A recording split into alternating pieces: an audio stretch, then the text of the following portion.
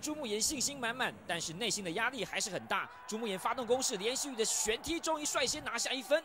接着再利用对手出腿的空档，再来一个旋踢，拿下第二分。双方继续找寻机会，结果墨西哥的 Blanco 一个旋踢之后露出空档，结果又被朱木岩踢中，拿下第三分。第二回合结束，朱木岩取得三比零的领先。第三回合开始。双方连续的快速旋踢，结果裁判判定各得一分，比数形成四比一，还是朱木炎领先。我们来看慢动作，双方在空中施展快速的旋踢，观众大呼过瘾，也把比赛带到最高潮。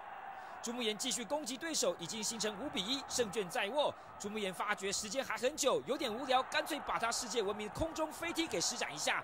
只见朱木炎在空中有如泰山压顶，把对手吓得脸色铁青。最后，朱木炎在倒数声中兴奋地举起右拳，迎接金牌的胜利。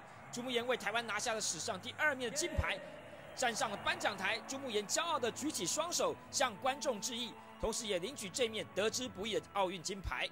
朱木炎的连续飞踢让全世界知道台湾这个名字，台湾终于扬眉吐气。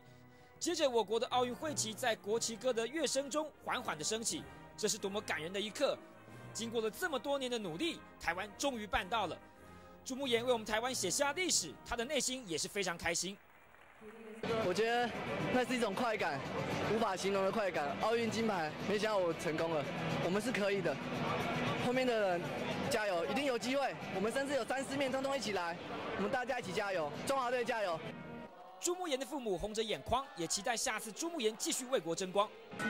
其实就是看看二零零八年再再来，二零零八北京再来一次，再再创造光辉历史。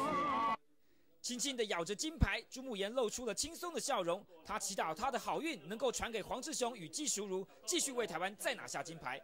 华新闻奥运采访团雅典报道。